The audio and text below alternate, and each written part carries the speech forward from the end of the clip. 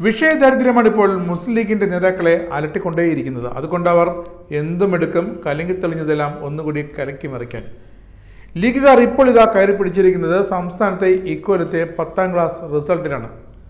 തെരഞ്ഞെടുപ്പിലെ സ്ഥാനാർത്ഥികളും വോട്ടുമെന്നും അവർക്കൊരു വിഷയമേ അല്ലായിരുന്നു. ആകെ ഉണ്ടായിരുന്ന ഒരു വിഷയം സ്ഥാനാർത്ഥികളെ പ്രഖ്യാപിക്കുന്നതിന് മുമ്പ് ഒരു മാസം മുമ്പ് മൂന്നാമതൊരു സീറ്റ് യു ഡി എഫിനോട് ചോദിച്ചതാണ്.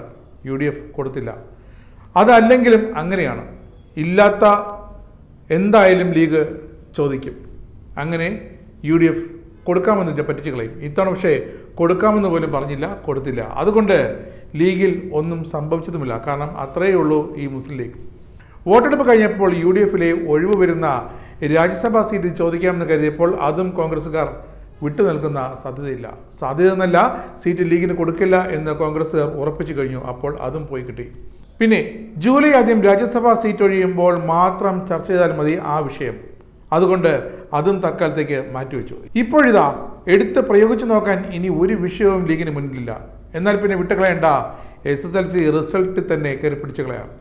ഇത്തവണ മലപ്പുറത്ത് അധിക സീറ്റുകൾ പ്ലസ് വണ്ണിന് വേണം അധിക ബാച്ചുകൾ വേണമെന്ന ആവശ്യവുമായാണ് ഇപ്പോൾ ലീഗ് ഉയർത്തിക്കൊണ്ടുവരുന്നത്.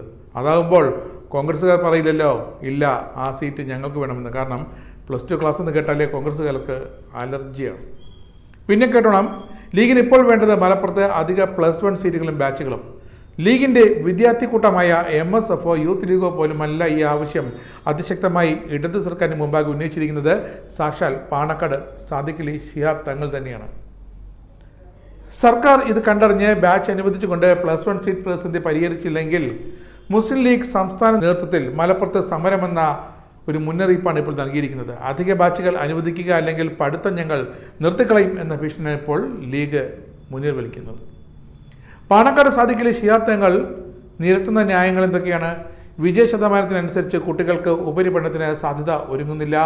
അതിന് ബാച്ചുകൾ അനുവദിക്കുക എന്നത് തന്നെയാണ് പരിഹാരം. യു ഡി എഫ് ഭരിച്ചിരുന്നപ്പോൾ ബാച്ചുകൾ അനുവദിച്ചിരുന്നത്രേ. ഇപ്പോഴത്തെ ഇടത് സർക്കാർ ഇടപെട്ടുകൊണ്ട് പരിഹാരം കാണണം എന്ന് പ്രതീക്ഷിക്കുന്നു.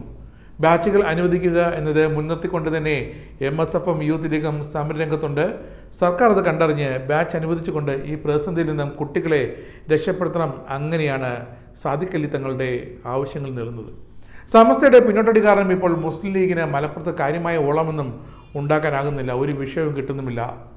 എം എസ് എഫ് യൂത്ത് ലീഗുമൊക്കെ ഇപ്പോൾ ഉറക്കം തൂങ്ങിയ അവസ്ഥയിലാണ്.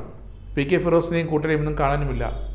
സുദീർഘകാലം സസ്പെൻഡ് ചെയ്ത വനിതാ നേതാക്കളെ ഈ അടുത്തിടെ ലീഗ് തിരിച്ചെടുത്തിരുന്നു. എന്നിട്ടും അവർക്കും ഒരു ആവശ്യമൊന്നുമില്ല. അപ്പോൾ പിന്നെ പ്ലസ് വൺ ബാച്ചും സീറ്റുമാണ് മുന്നിൽ വന്ന് വീണതെങ്കിൽ അതിരിക്കട്ടെ എന്ന ചിന്തയിലാണ് ഇപ്പോൾ ലീഗുകാർ മലപ്പുറത്ത്.